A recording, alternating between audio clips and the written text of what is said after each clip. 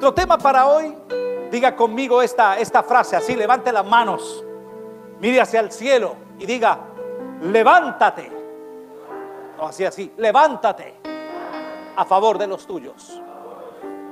Este es un clamor que vamos a aprender hoy enfocado aún a algo especial. ¿Cuántos han sentido que sobre áreas de tu vida oras parece que Dios como si no se enterara? ¿Les ha pasado? No? ¿Sí o no? ¿Les pasa? Claro, todo nos pasa. Uno se pega por una petición, Señor, haz el milagro, haz, y Dios parece como que ni oye, ni ve, ni entiende. Le pasa lo de los discípulos en el arca, que mientras ellos estaban bien encartados, bregando a no, a no, a no hundirse, Jesús estaba durmiendo como si no pasara nada. En esos momentos en que parece que Dios no se interesara por tu petición, vale la pena usar este recurso que es bíblico, decirle, Señor, levántate y defiende los tuyos. Levántate mi auxilio, levántate para que me ayudes. La expresión levántate Señor, diga conmigo, levántate Señor. O también aparece en la Biblia, levántate Jehová. No es para hacer referencia al Señor caído.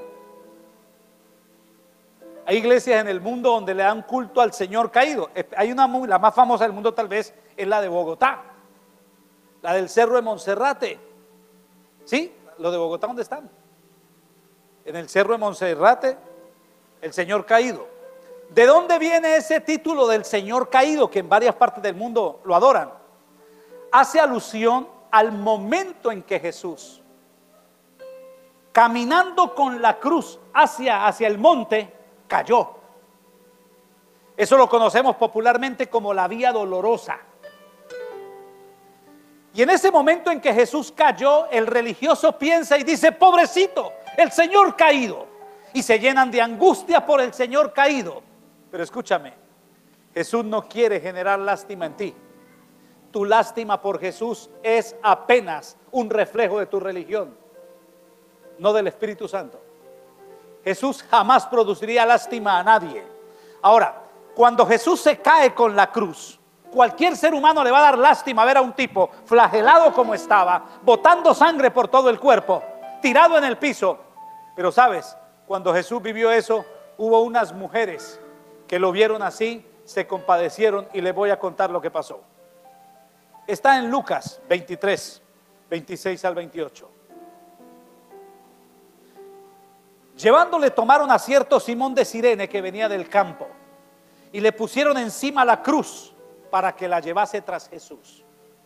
Y le seguía multitud del pueblo y de mujeres que lloraban y hacían lamentación por él, pobrecito. Y le seguía gran multitud del pueblo y de mujeres que lloraban, hacían lamentación por él. Y el 28 dice, pero Jesús, vuelto hacia ellas, les dijo,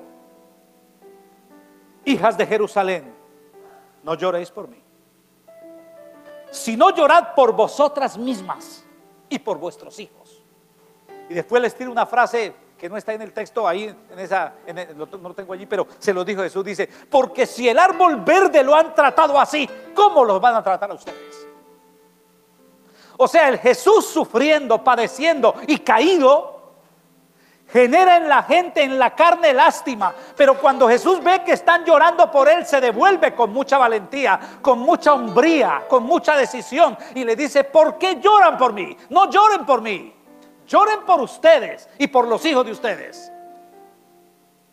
Qué valentía, ¿no? Por eso vale la pena decirle Señor. Eso para los que se imaginan a Jesús todo, hasta en el momento más difícil, se portó fuerte. Por eso la Biblia dice que nos portemos varonilmente. Dios no quiere corazones de gallina, ni en hombres ni en mujeres.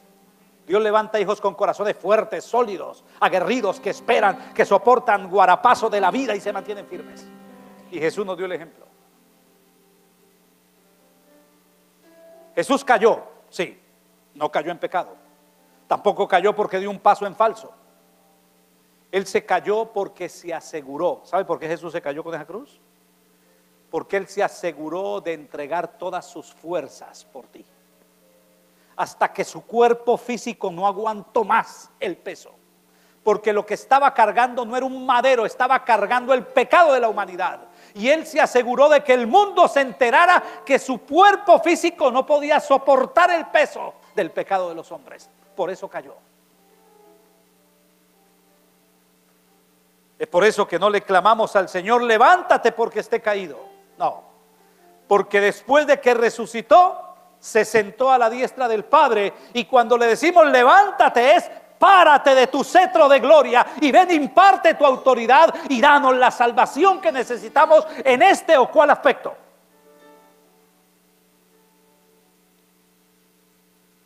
Cristo no quiere producir lástima, ni pesar, ni tampoco compasión. Él espera que le digamos, levántate. O ¿qué hubiera pasado si cuando Jesús iba con la cruz cae, en vez de las mujeres llorar, pobrecito, no lo den así, tengan compasión?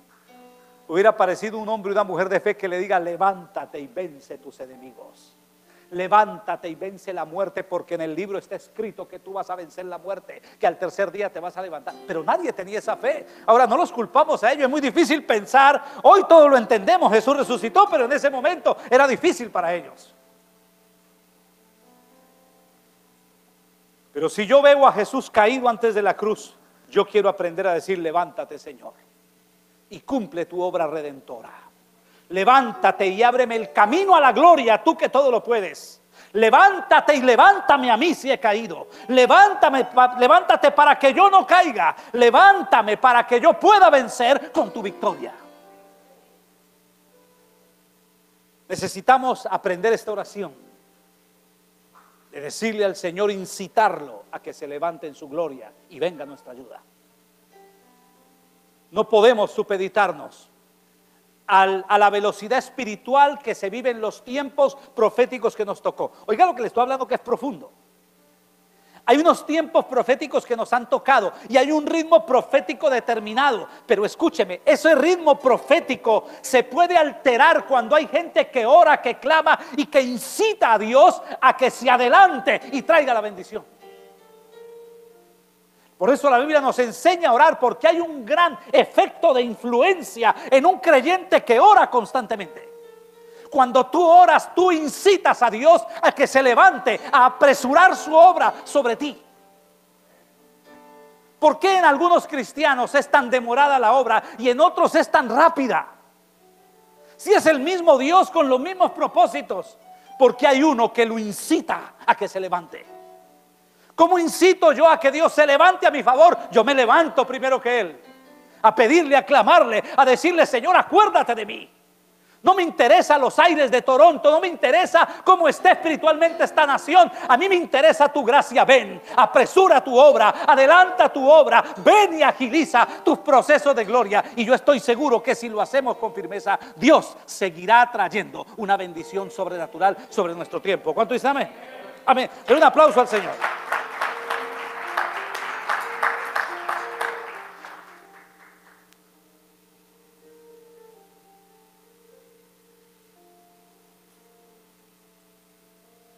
En este tema de levántate en favor de los tuyos, está enfocada a estas situaciones que, como les decía ahora, parece que no llega la respuesta del cielo.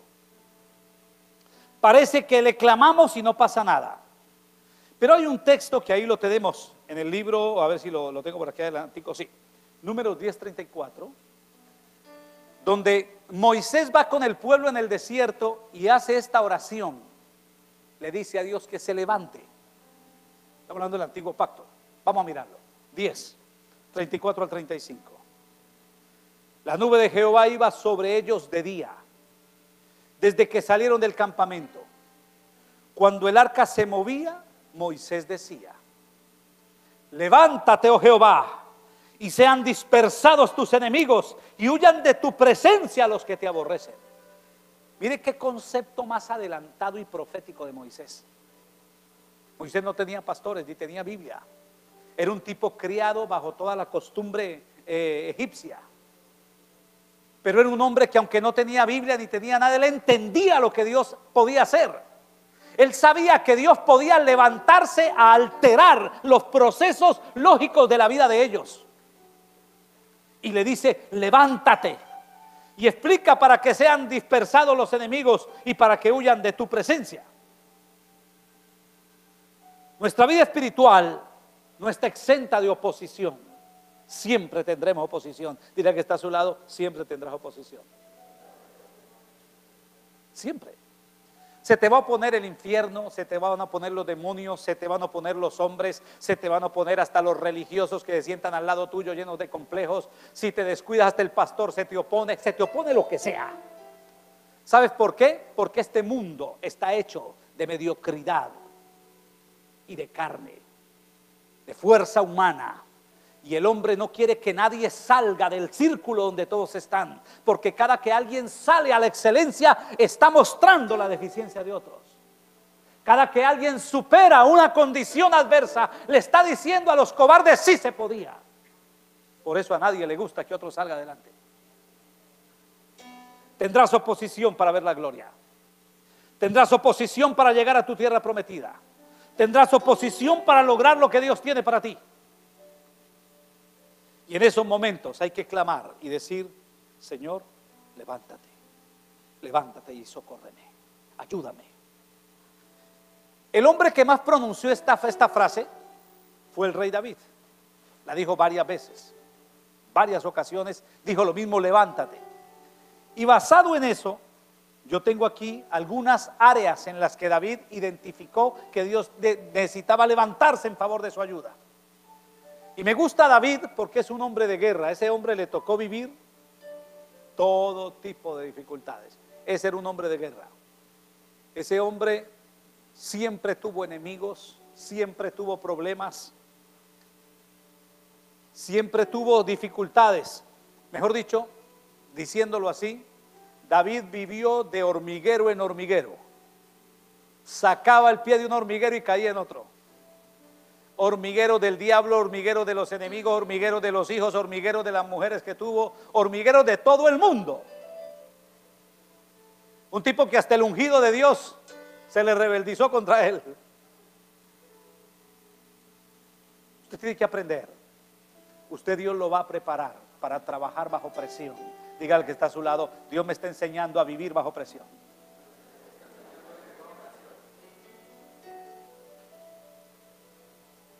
¿No les gusta la frase?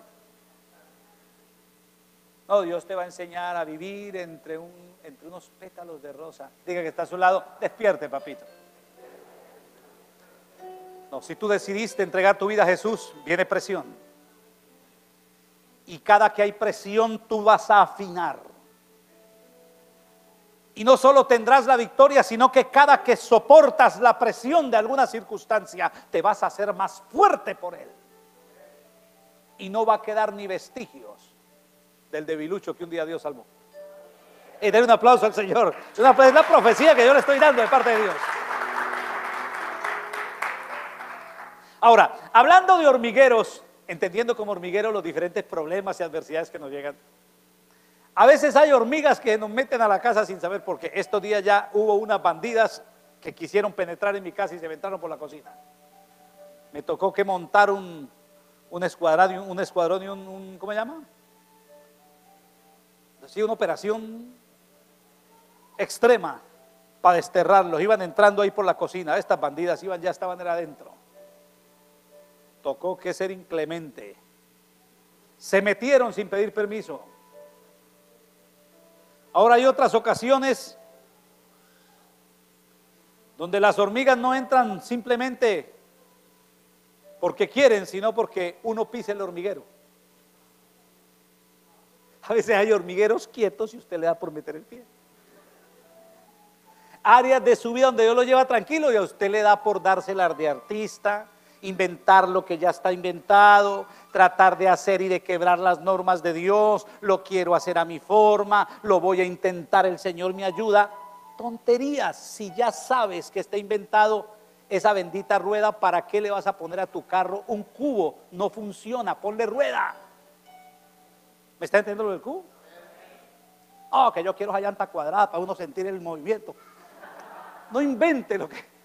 Ya está inventada la rueda, métale la rueda y hágale para adelante.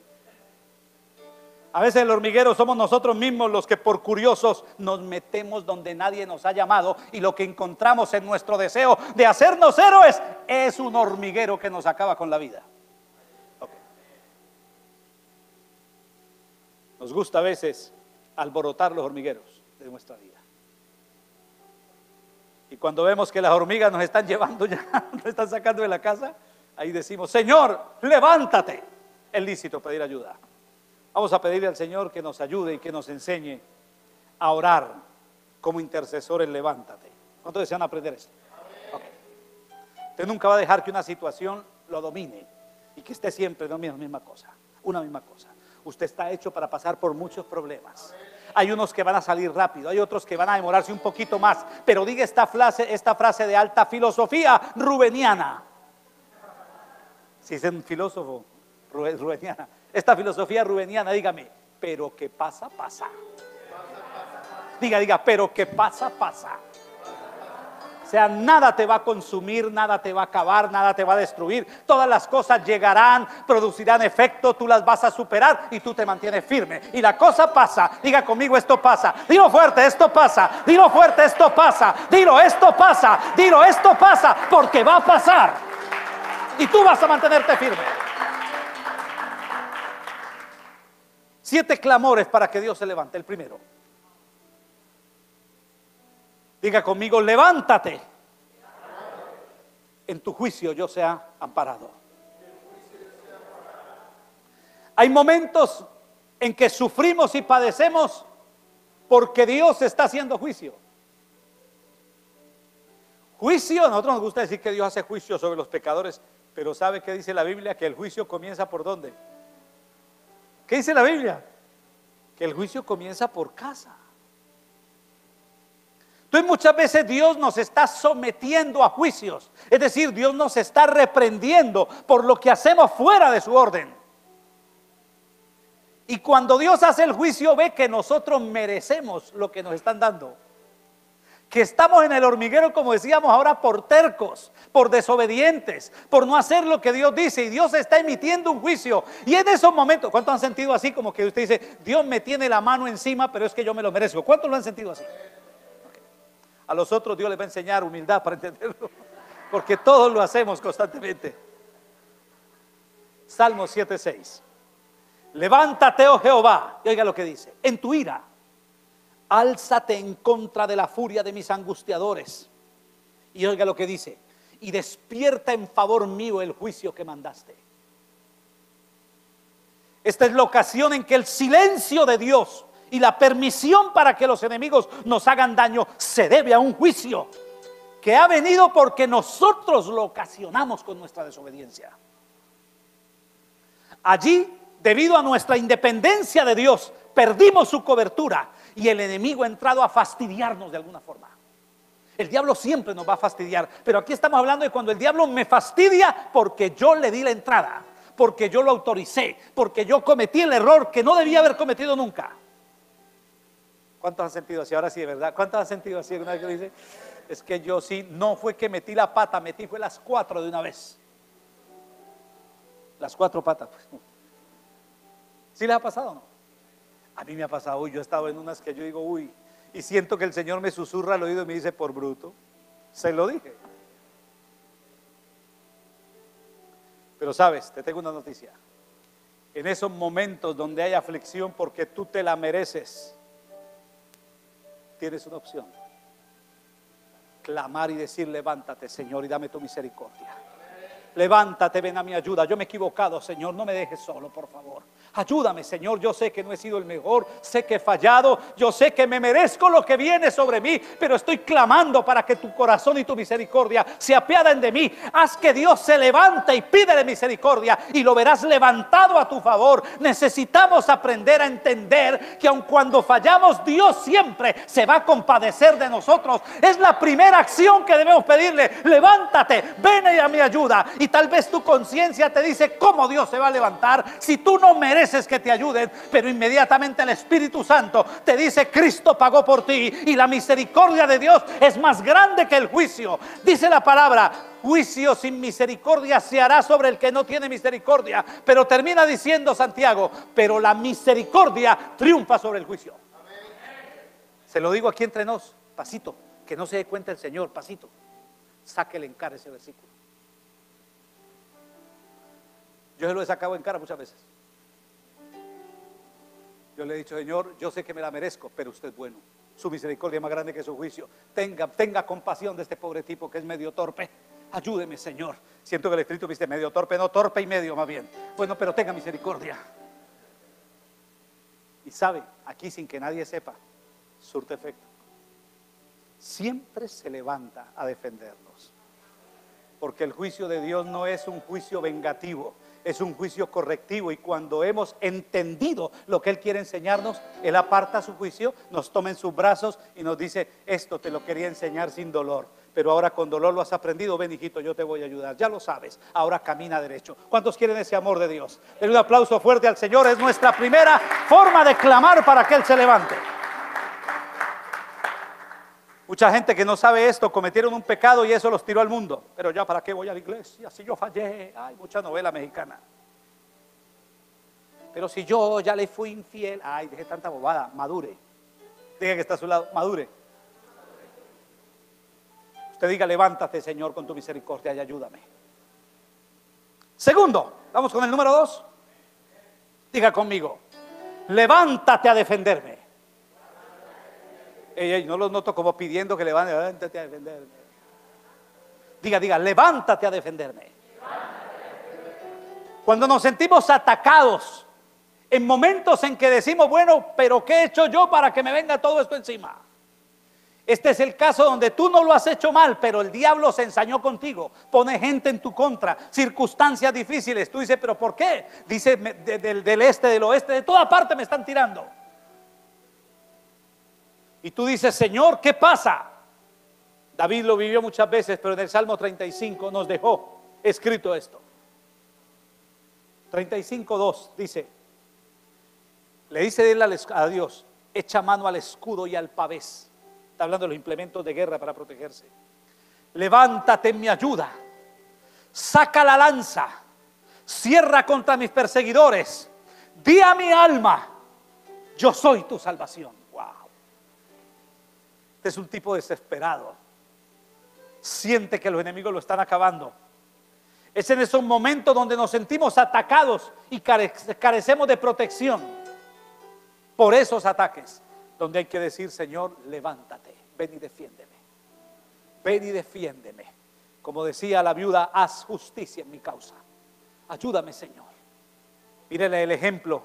Habla de un Dios que en este caso ya no es el Dios de misericordia, sino este es un Dios al que le pedimos que se levante con escudo, con pavés y con lanza y que se, y se cierre sobre mis enemigos. ¿Sabes qué es que se cierre? Le voy a cambiar esa frase, se cierre.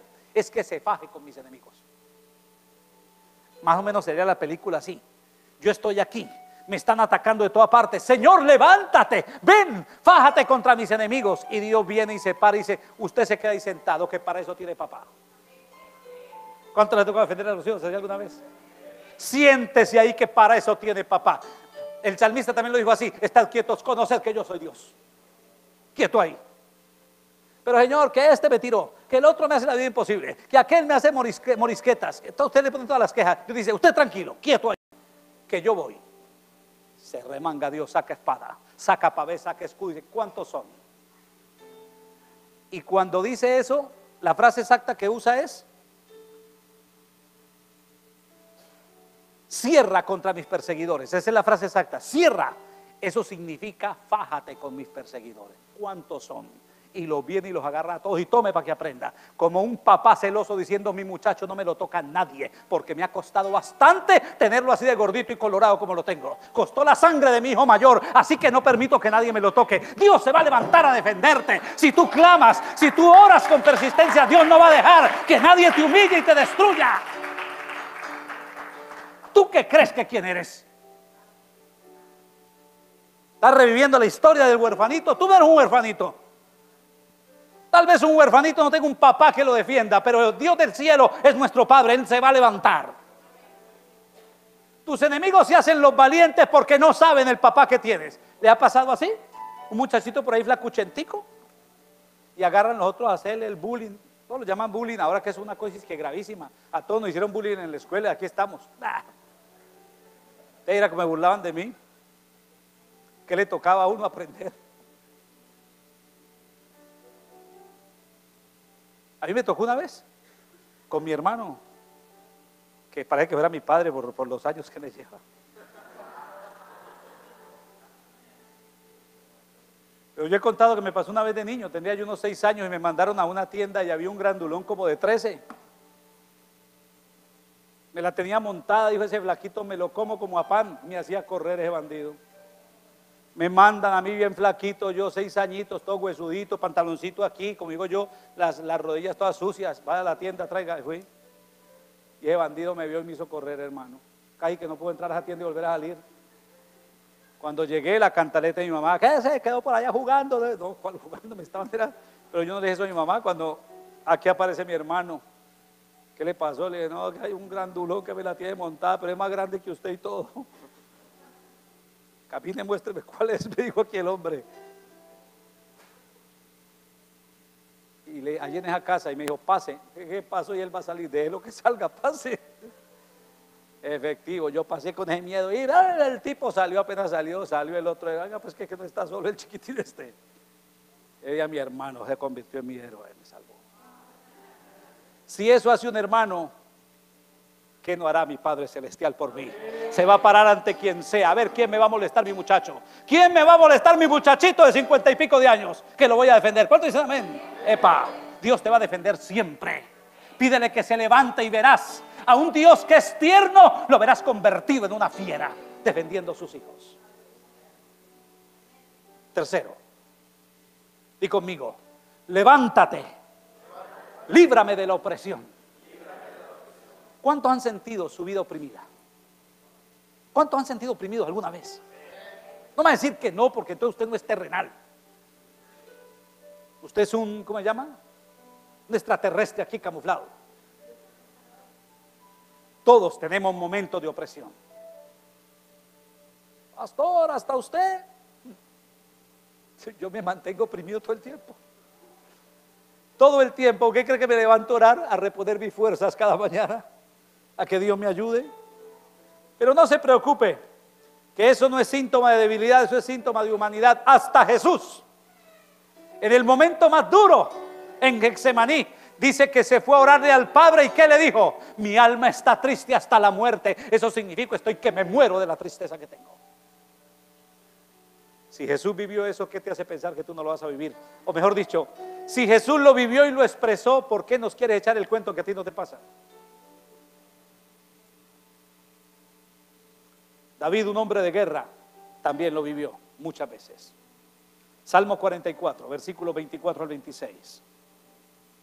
¿Por qué escondes tu rostro y te olvidas de nuestra aflicción y de la opresión nuestra? Porque nuestra alma está agobiada hasta el polvo y nuestro cuerpo está postrado hasta la tierra. Y escucha el 26. Levántate para ayudarnos. Redímenos por causa de tu misericordia. Una de las cosas que más daño le hace a un cristiano es pensar que está exento de sufrimiento y de tiempos de angustia. La angustia es parte de la vida.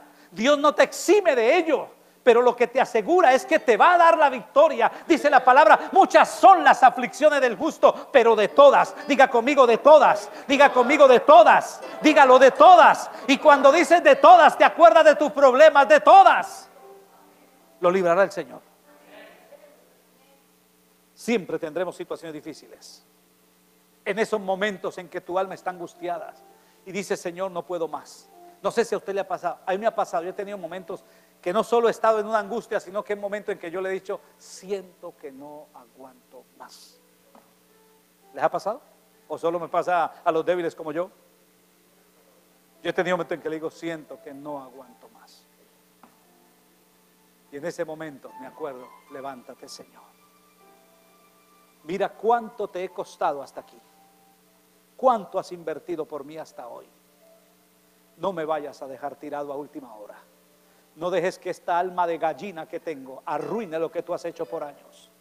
Todo tu esfuerzo, tu dedicación por mí, lo vamos a dejar tirado porque estoy agobiado. Levántate, Señor. Y siento que viene un gigante sobre mí el Espíritu de Dios para levantarme a la estatura de Cristo, para recordarme que no dependo de mis sensaciones, sino que dependo de la palabra que ha sido dada sobre mi vida, que tengo propósitos eternos y que Dios levanta mi alma. Alguien diga amén. Si entendiéramos esto, necesitaríamos menos psicólogos y más Biblia. Tendríamos menos depresión y más testimonios de grandeza los estados depresivos y de angustia que son prolongados. Aclaro, toda persona puede tener un momento de angustia, un momento de depresión, eso se puede tener, todo lo podemos vivir, pero cuando eso es continuo, tú estás en un problema. Tú necesitas ayuda. Pastor, el psicólogo, el psicólogo es una opción, pero el psicólogo, el hay varios tipos de psicólogos, ¿no? Está el psicólogo de la sociedad moderna, que es el que te, te en un sofá y te escucha. Está el psicólogo de los pobres, que es la correa con la cual educamos a los hijos, un buen psicólogo.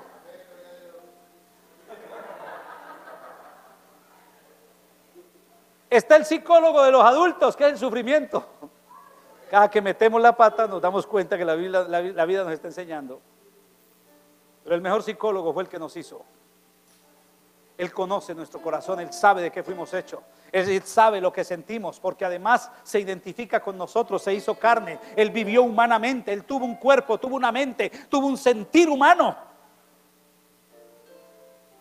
Cuando esos estados depresivos son continuos, tú necesitas una ayuda especial. Debemos clamar, Señor, levántate, mi auxilio, ven. No me permitas estar arrumado en un rincón de la vida como si no tuviera papá.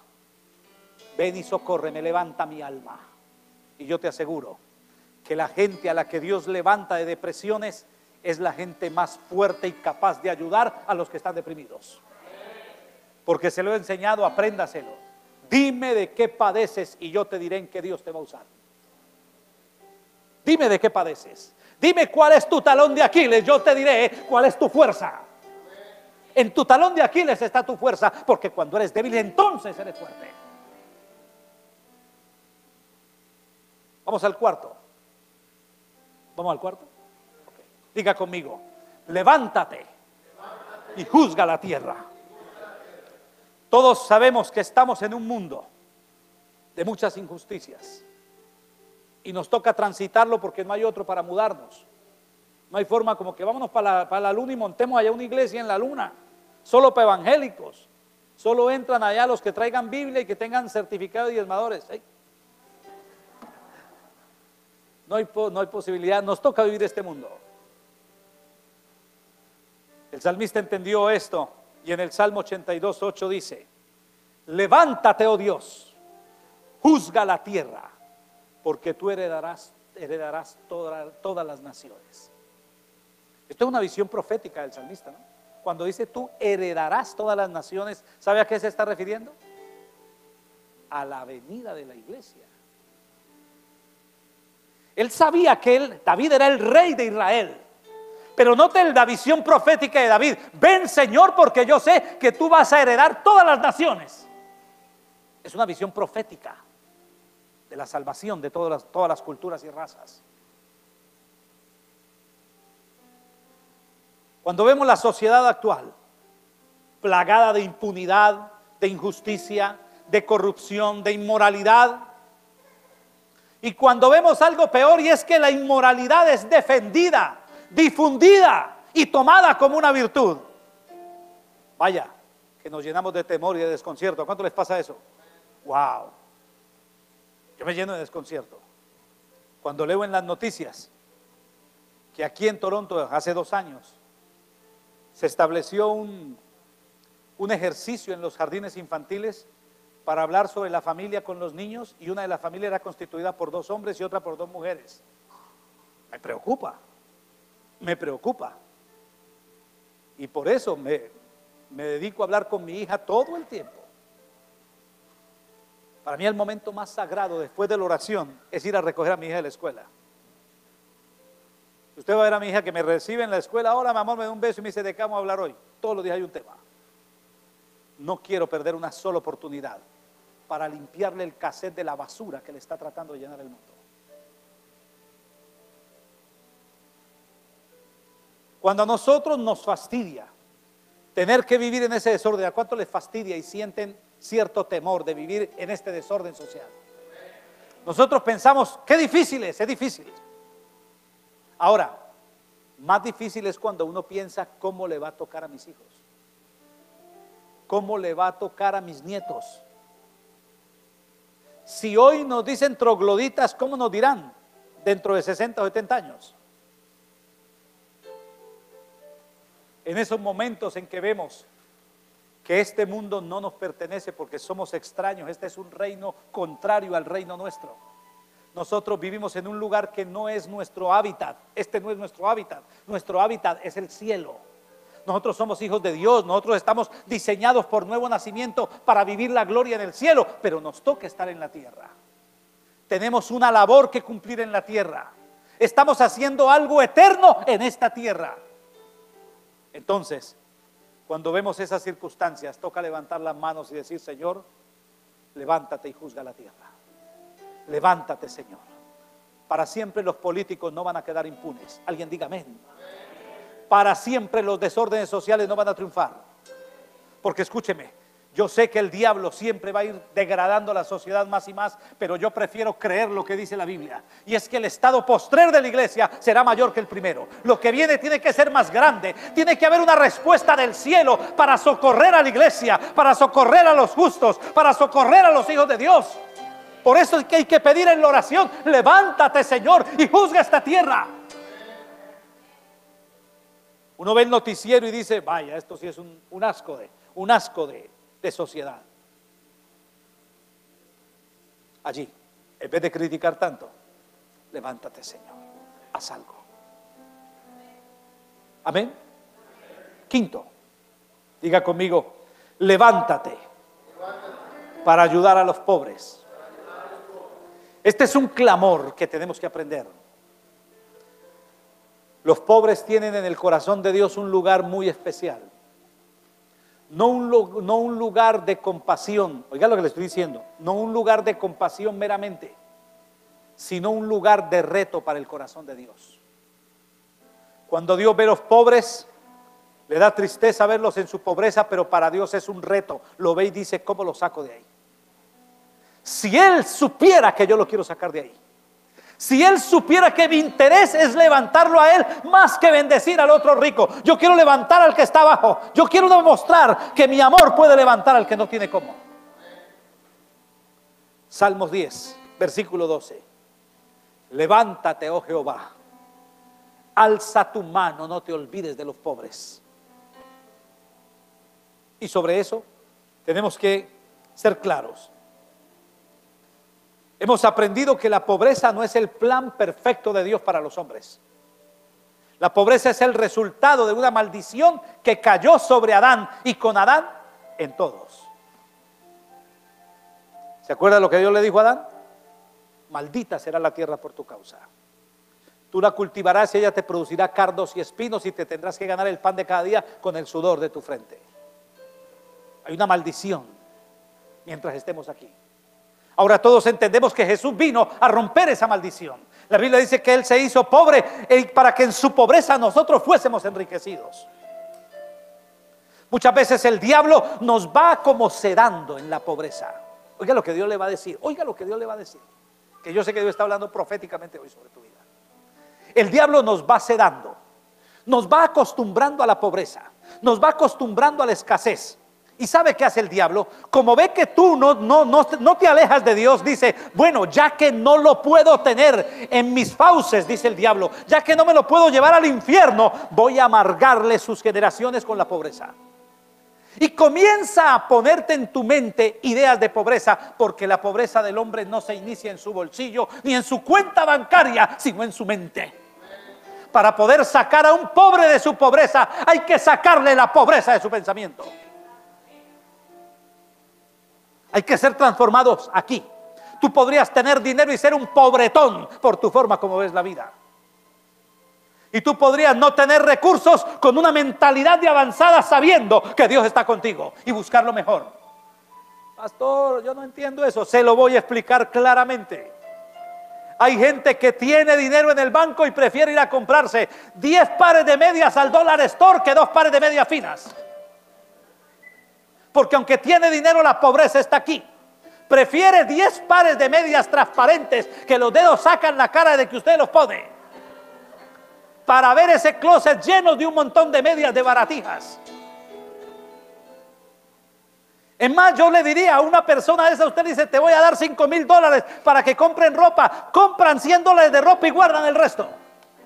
Porque ellos creen que su cuerpito no se merece vivir en esa abundancia. Porque la pobreza está aquí. Dios necesita sacarnos de ahí. El diablo quiere eh, que tú aprendas a vivir en pobreza. Oiga lo que le estoy diciendo. El diablo dice, necesito acostumbrarlo. Y es más, el diablo dice, voy a sacarle las raíces que tiene de su, de su malicia indígena para que aprenda a cortar el tomate bien delgadito y le alcance. Para que parte ese huevo entre cuatro. Y para que diga gracias a Dios como pobre nada nos falta. Eso es del diablo. Debemos ser sabios en administrar lo poco o mucho que Dios nos da. Pero necesitamos erradicar ese principio diabólico de que yo fui creado para vivir en pobreza, yo fui creado para vivir en abundancia. Tengo que administrar bien lo que tengo, pero tengo que cambiar mi mente. Dios tiene que levantarse y ayudarme. Yo soy hijo del Dios del cielo. No puedo vivir toda la vida con, una, con un saldo en rojo, completando a última hora la renta. Ese no es el propósito de Dios. Lo puedo vivir hoy, pero de ahí voy a salir. Y como no salgo, levanto mi oración y le digo, levántate, ayuda a los pobres. Ven y socorre tu generación. Alguien dígame.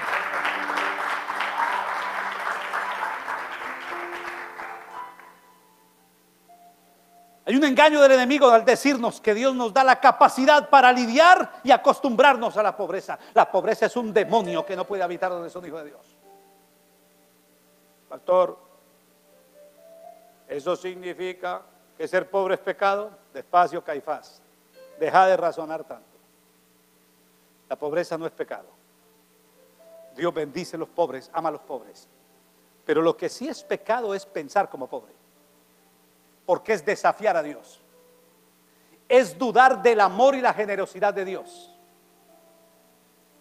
Porque queremos depender de nosotros mismos. La pobreza nos hace pequeños y nos conviene ser pequeños para generar lástima porque no tenemos una mentalidad de líderes espirituales. No podemos podido entender que somos la corona de la creación, que Dios me puede tener en el último rincón del universo y allí me va a levantar y me va a poner en alto. Es que yo he sido sentado en lugares celestiales con Cristo, estoy diseñado para reinar en abundancia. Dios va a quitarle las riquezas a los pecadores perdidos y se le va a entregar a sus hijos para que hagan el reino, para que levanten sus hijos, para que les den educación, para que transformen la sociedad. Llénate de coraje y levántate a orar cada mañana. Señor, sácame de esta pobreza. Sácame de esta escasez. ¿Por qué tengo que estar midiendo a para comprar la peor carne? ¿De cuál carne va a comprar, mi amor? De la cara. Ah, de la costosa, no, de la cara de la vaca que sale más barata.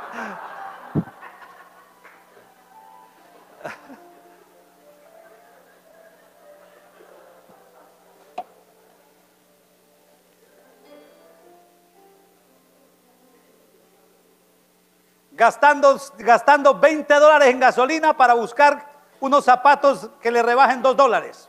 Tan avispado, inteligente. Se va de aquí hasta Oakville para ahorrarse 2 dólares. O inteligente.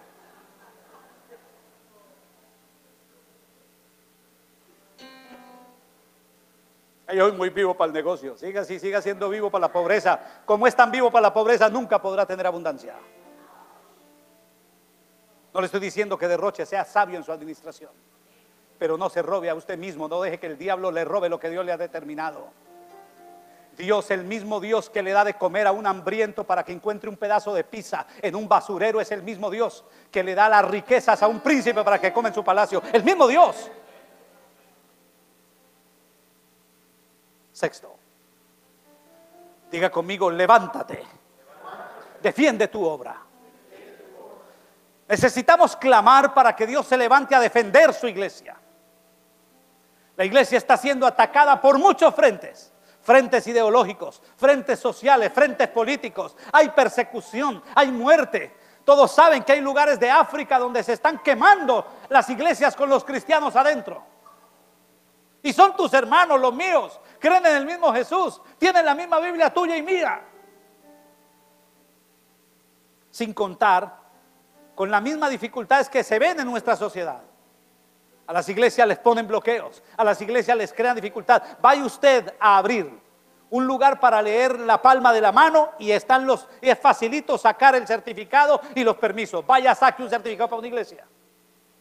Le friegan por el sonido, le friegan por el parqueo, le friegan por las salidas, le friegan por todo. Mientras que cualquier ladrón en una piezucha dice que sabe arreglar la vida, monta y una mano en la, en la ventana y se le llena y el gobierno lo respalda para que le pague taxes. Dios tiene que levantarse a socorrer su iglesia. Y escúcheme lo que le voy a decir. Primero leamos el texto, Salmo 74, 22, 23. Levántate, oh Dios, aboga tu causa. Oiga, ¿aboga qué? Tu causa, la de Él, la de Él, la de Él. Acuérdate cómo el insensato te injuria cada día. No olvides las voces de tus enemigos, el alboroto de los que se levantan contra ti sube continuamente. Escúchame lo que te voy a decir. Viene un momento para la iglesia en el mundo donde la iglesia dejará de ser la cenicienta de la sociedad. Muy poquitos amenes. La iglesia va a dejar de ser la cenicienta de la sociedad. Porque nunca ha sido tampoco la cenicienta de la historia. La iglesia es la esposa de aquel que controla la historia de la humanidad. La iglesia es la novia prometida del que está sentado a la diestra del Padre y gobierna sobre todo imperio y potestad. ¿Por qué entonces nos tienen que tratar como si fuéramos la muchacha del servicio? Y no tengo nada contra la muchacha del servicio. Pero una cosa es la muchacha del servicio, otra cosa es el dueño de casa. La muchacha del servicio entra por detrás, la dueña de casa entra por la puerta principal. La muchacha del servicio se sienta a comer con los hijos de ella ahí atrás. La dueña de casa se sienta con sus hijos, hasta chorrea en la mesa que vale 50 mil dólares, ahí se sienta y come y chorrea porque es la casa de ella. ¿Estamos de acuerdo? ¿Estamos de acuerdo? La iglesia tiene que limpiar el camino para que Dios la posicione donde debe estar. Debemos pedirle al Señor que se levante en defensa de su iglesia. Tú tienes que amar la visión que Dios nos da. Nosotros somos un recurso espiritual para esta ciudad y para esta nación y debemos pedirle, Señor, levántate en nuestra ayuda. Levántate ahora que estamos orando por un local. Levántate, Señor. Danos el lugar adecuado para difundir esta visión con excelencia, con grandeza. ¿Por qué los hijos de Dios tenemos que estar en los peores lugares? Como le pasó a nuestro amado, nuestro amado apóstol Carlos Jiménez, que alguna vez nos contaba que lo invitaron a una iglesia en un país de Latinoamérica y era en una, una, posilga por ahí, una cosa horrible, un metedero. La iglesia con un aviso hecho de cartón ahí todo horrible, con cartulina. Y se llamaba el Palacio del Rey. Dice el apóstol Carlos, que apenas me dijo, si es el Palacio del Rey, ¿cómo era el rey? Ya me imagino cómo era el rey que vivía ahí. Y a eso le decimos, es que somos muy humildes. No, es que somos humildes, es que somos tontos, no entendemos la posición que Dios nos ha dado. Tenemos que estar dispuestos a hacer la obra de cualquier forma, pero levantarnos de ahí. Y les hemos dado testimonio. Nosotros pasamos a este local, esto era un verdadero chiquero. Y lo hemos podido arreglar dignamente. Ahora, no es todo lo que queremos. No es lo que se merece una generación que va a cambiar esta ciudad. No es la iglesia que se merecen nuestros hijos, que los estamos levantando con bendición. ¿Qué hay que hacer entonces? Levantarnos ahora y decirse, Señor, levántate y defiende tu obra. Danos ese lugar danos los recursos. Levanta ministerios, levanta pastores de este lugar, levanta hombres y mujeres que salgan a llevar este evangelio dignamente. Y yo, a mí, yo soy un tipo que me gusta lo bueno. Yo mis hijos espirituales que van a ir a abrir iglesia, los voy a esforzar y los voy a molestar y los voy a... Pero yo quiero que salgan bendecidos. Vamos a abrir iglesias buenas vamos a abrir iglesia en tal parte, la montamos bien, con todo. Nada que vea que el alambrito, que ponga este cablecito, que un hermano mandó a regalar un speaker que le quedó en la casa de la abuelita. No, no, eso no. La iglesia bien. Nosotros nos está tocando duro porque estamos abriendo una brecha, pero Dios nos va a ayudar para que nuestras generaciones levanten iglesias fuertes, sólidas, en todos los aspectos, llenos del Espíritu, pero también buenas y excelentes.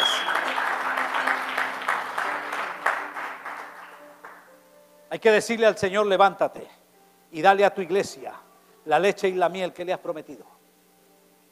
Séptimo. Diga conmigo, levántate. Manifiesta tu presencia. Es el séptimo clamor, pedirle a Dios que se levante y que su presencia se haga notoria. Necesitamos que la iglesia tenga un conocimiento y se habitúe a la presencia de Dios. Vienen tiempos donde no necesitaremos que venga ningún predicador a traernos la presencia. Al contrario, llenaremos a los predicadores de la presencia que hay en esta casa. El que venga va a entender, y ya nos ha pasado, gloria a Dios. Los que han venido aquí dicen, uy, hay una presencia fuerte. Hay que clamar para que esa presencia descienda. Salmo 132, 7 y 8. Entraremos en su tabernáculo. Nos postraremos ante el estrado de sus pies. Y oiga lo que dice el 8 levántate, oh Jehová, al lugar de tu reposo, y tú y el arca de tu poder. Esta es una petición y es que Dios se levante desde su trono y venga aquí a estar con nosotros venga y participe de nuestro crecimiento, de nuestros cultos, que en la alabanza haya un mover de gloria, que haya palabra profética, que haya sanidades mientras están cantando, que mientras se está predicando Dios esté sanando gente, restaurando hogares, abriendo caminos, la presencia de Dios manifestada. Eso viene si levantamos a Dios en oración y le decimos, levántate Señor, ven y manifiéstate para este tiempo.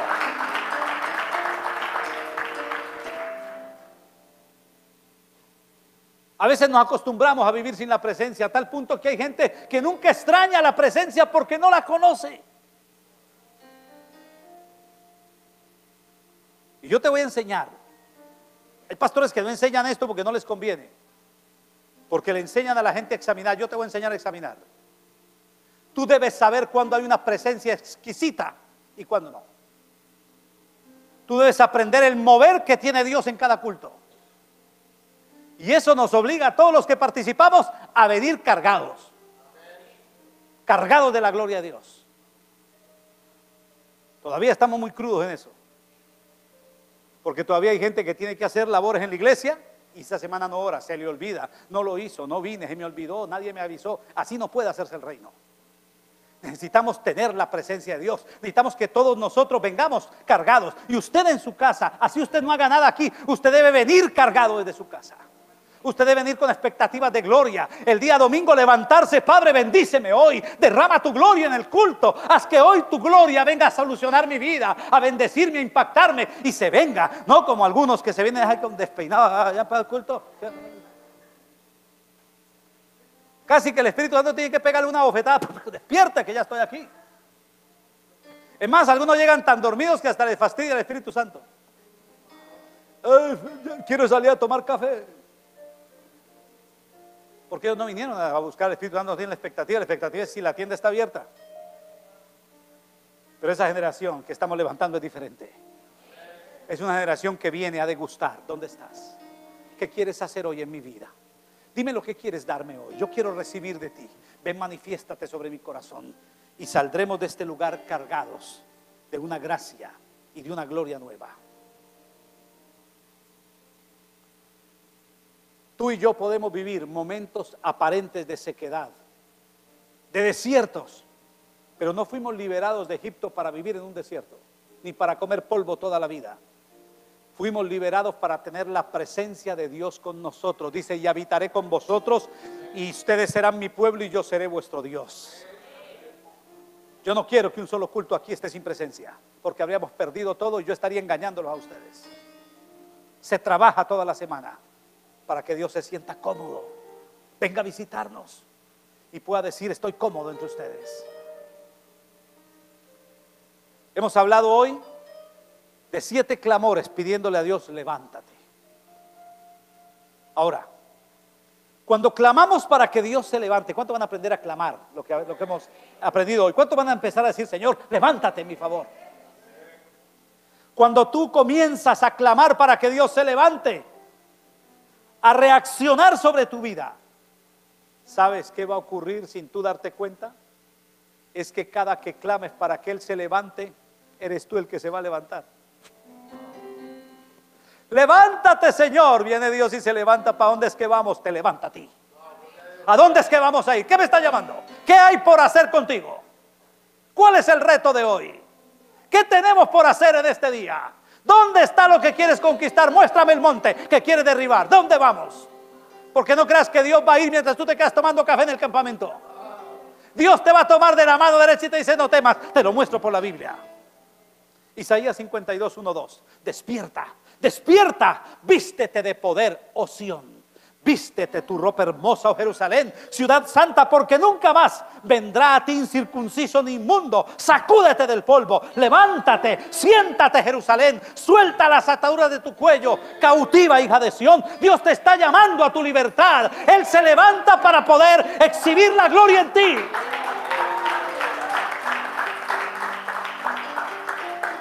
Y termino con esto ya para no hacerme muy largo. Isaías 60. Levántate, resplandece, porque ha venido tu luz. Y la gloria de Jehová ha nacido sobre ti. Porque aquí que tinieblas cubrirán la tierra, oscuridad las naciones, más sobre ti. Diga conmigo eso, más sobre mí. Dígalo, más sobre mí. Note que primero dice que vendrán tinieblas sobre la tierra, las naciones serán agobiadas, pero dice más, diga conmigo más. Ese más indica que lo que viene es superlativo, es mayor que lo primero. Aunque hay tinieblas, aunque hay oscuridad, aunque hay problemas en las naciones, más. Lo que viene es mayor. Dice más. Sobre ti amanecerá o se levantará Jehová. Sobre ti será vista su gloria. Dios se va a levantar no para exhibirse Él como el Dios del universo sino para exhibirse Él en ti, para levantarte a ti. Dios quiere que la gloria sea vista en ti. Sobre ti se levantará Jehová, sobre ti será vista su gloria, sobre ti verán las naciones lo que Dios hace contigo. Si Dios se levanta, también me levanto yo. Si Dios se levanta, habrá futuro para mis hijos, habrá esperanza para mi nación. El engaño del diablo es tratar de levantar al hombre. Levántate, hombre. Tú puedes, tú eres capaz. Levanta la autoestima. El secreto de Dios es diferente. Levánteme a mí, que yo lo levanto a ustedes. Si ustedes me levantan en oración, yo me ocupo de levantarlos a ustedes. Si ustedes me levantan en gloria, yo los levanto a ustedes en gloria. No hay mejor negocio que clamar para que Dios se levante. Porque aquel que lo hace levantar es aquel a quien Dios levanta. Alguien dígame. Colócate de pie, hay poder en mi Cristo. Levanta tu mano, levanta tu mano. Dios te va a levantar en poder. Pero para eso tú tienes que levantarlo a él. Sota rabacandarabashia. Comienza a orar. Ora maranata, ora maranata, ora maranata. Onda raza catarabashia. Estás entendiendo por qué es importante llegar a orar a esta iglesia. Cada miércoles a las 7, cada domingo a las 11 porque estás levantando al Dios que te levanta. Sota rabacotarabasía. Onda Oh Padre, levántate, levántate, levántate en nuestro favor. Levántate para socorrernos. Sonda rabacondarabasía. Oh. Padre, levántate. Levántate en tu juicio, yo sea amparado, Padre. Tu misericordia traiga perdón sobre mi vida. Levántate para defender mi vida, defender mi causa, defender los míos levántate y líbrame de la opresión de los tiempos de angustia. Levántate y juzga la tierra en medio de la injusticia y de toda la descomposición social. Levántate, Dios del cielo, para ayudar a los pobres y que podamos tener los recursos que corresponde a un hijo tuyo. Levántate, Padre, y defiende tu obra para que tu iglesia no sea pisoteada por el hombre. Levántate, Padre, y manifiesta tu presencia. Y cuando tú te levantes, Padre, yo me levantaré contigo en victoria. Yo declaro que me levanto con mi Dios, que soy levantado a niveles de gloria, que la gloria de Dios será vista sobre mí. Oh Padre, gracias. Yo declaro que yo me levanto, yo resplandezco porque ha venido mi luz. La gloria de Jehová se ha levantado sobre mí. Tinieblas cubrirán la tierra, oscuridad a las naciones, más sobre mí. Diga conmigo, más sobre mí. Dígalo, más sobre mí. Se levantará Jehová, sobre mí será vista su gloria. Lo declaro en el nombre de Jesús. Amén y amén. Fuerte ese aplauso. Dios tiene propósitos con tu vida.